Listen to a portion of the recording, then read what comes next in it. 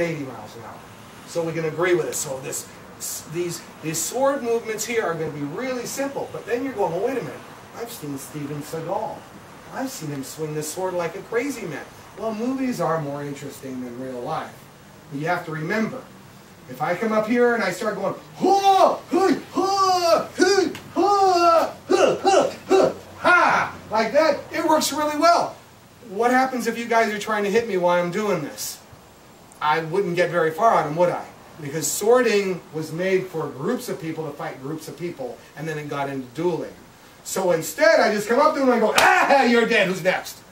See how that works a little bit easier. So keep everything simple. And when you're working and you're practicing the sword down the few, down down the road, the five years, two years, 20 years from now, remember that the fancy stuff is really fancy, but it's like a second lieutenant going to Vietnam.